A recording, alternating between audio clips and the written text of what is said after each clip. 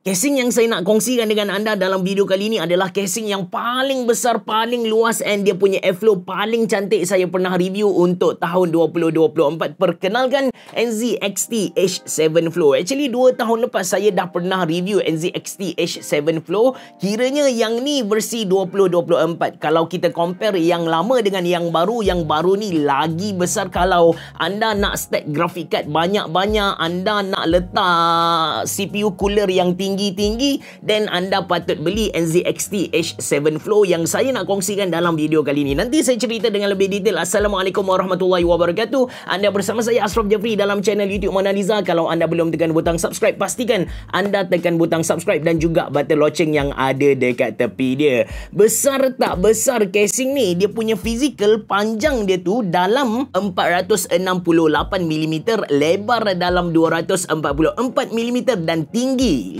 544mm.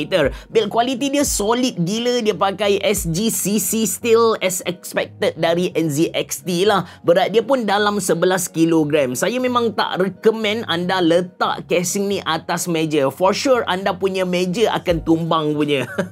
dari segi design casing ni bersifat minimalis. Tak ada yang extraordinary but finishing dia bagi saya cun gila. Bahagian hadapan boleh kata fully mesh. Cuma di bahagian bawah tu adalah logo NZXT yang dia tebuk dekat situ. Lepas tu dia punya input output connection berada di bahagian atas. Tentang input output connection bagi saya lengkap sekali dengan USB-C. Di bahagian belakang ada 7 PCI slot. Antara benda yang buat saya impress masa unbox NZXT H7 Flow ni adalah bentuk di bahagian bawah dia punya tempered glass tu. Yang mana kita boleh masukkan 3 biji kipas 120mm. Alang-alang dah sentuh tentang kipas ni, total kipas yang kita boleh pasang dekat NZXT H7 Flow ni adalah 10 biji kipas 120mm.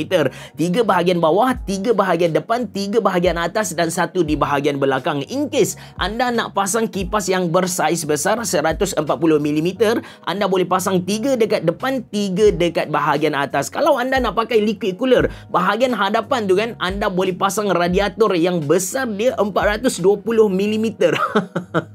bahagian atas anda boleh pasang radiator 360mm.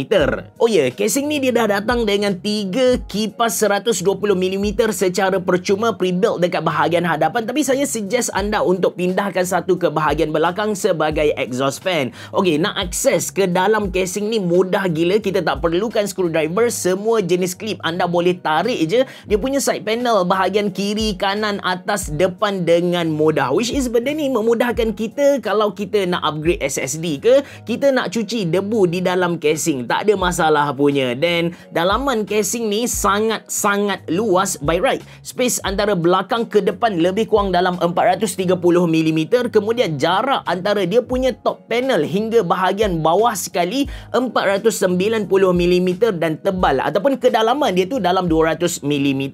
Ketinggian maksimum heatsink ataupun CPU cooler yang kita boleh guna dekat NZXT H7 Flow ni adalah 190mm.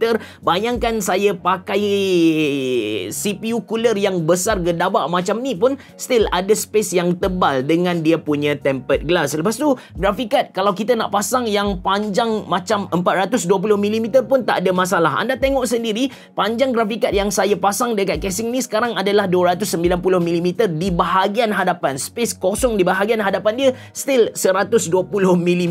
Besar gila guys. And disebabkan dalaman casing ni luas, proses pemasangan hardware ke dalam dia memang tak susah langsung. Plus bracket fan di bahagian hadapan tu kita boleh cabut untuk memudahkan lagi proses installation. Jarak antara bahagian atas motherboard dengan top panel adalah lebih kurang dalam 70mm.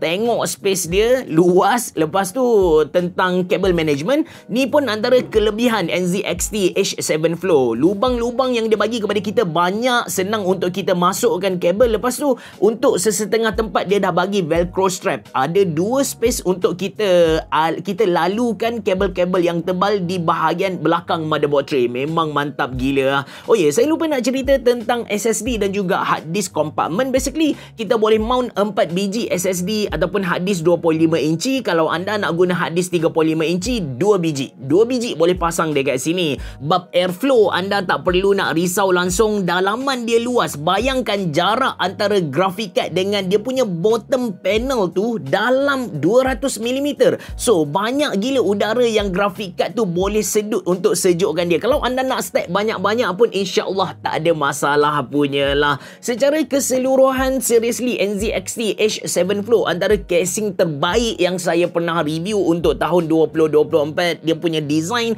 memang kena dengan taste saya yang lebih ke arah minimalis. Cuma kalau anda nak beli NZXT H7 Flow ni saya nak remind anda yang casing ni betul-betul besar. Anda nak stack 3 graphic card. Mungkin kalau dekat Computex mereka dah panggil ini adalah sebuah casing AI. Kita boleh pakai 3 graphic card dalam satu masa. Tak ada masalah. Yes, casing ni kalau anda nak stack 3 graphic card pun tak ada masalah. Motherboard maksimum kita boleh letak EATX. Bukan ATX eh. EATX punya. Link beli ada dalam ruangan description box below. Tak silap saya dia datang dengan dua variasi warna. Hitam dan juga putih. Aa, ah, anda pilihlah sendiri. Terima kasih kerana menonton. Assalamualaikum warahmatullahi wabarakatuh. Biar Jumpa lagi.